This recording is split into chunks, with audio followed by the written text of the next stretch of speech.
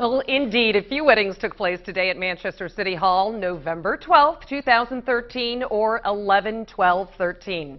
We caught up with one couple who flew in from Arizona to say, I do, and no other day would do. Aaron LaBella and Storm Shout headed to Manchester City Hall Tuesday afternoon to tie the knot. The two were planning on moving to New Hampshire sometime next year, and when they saw 11, 12, 13 on the calendar, they scheduled their wedding while looking for a place to live in the Granite State. And we weren't going to wait another year to make it the 12, 13, 14. Because we want to be together now. We wanted to make it now. Then. It was very, very much a part of the, the, why, the day we wanted to get married. We've always been into numbers. 11, 12, 13. It had to be something significant. For Storm, numbers are something he reads into on a daily basis.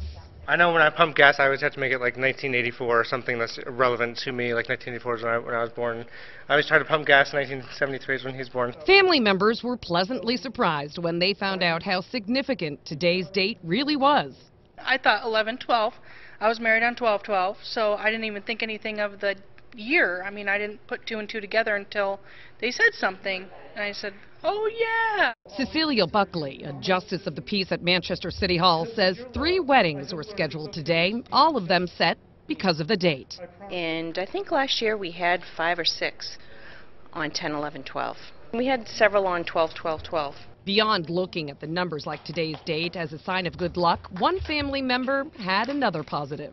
It's going to make it a lot easier now for remembering anniversaries. Now, if numbers are your thing, you might want to look at uh, forward to next year's calendars with dates like 1, 4, 14 and 12, 13, 14 being the most obvious of those were the numbers that may bring you good luck. In the studio, Suzanne Rowntree, WMUR News 9.